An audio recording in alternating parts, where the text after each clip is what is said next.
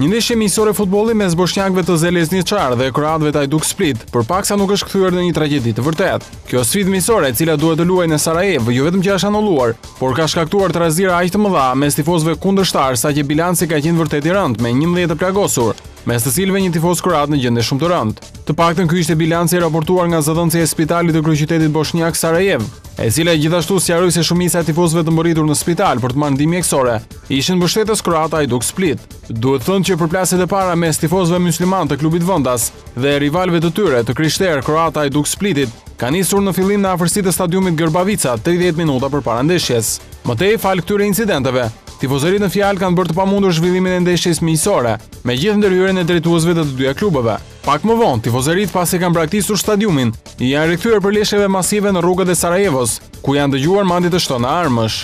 Me gjithë ndërhyrjen e policisë, kanë qenë të shumtë tifozët e plagosur, pa harruar edhe djegjen e makinave dhe disa bizneseve pranë vendngjarjes.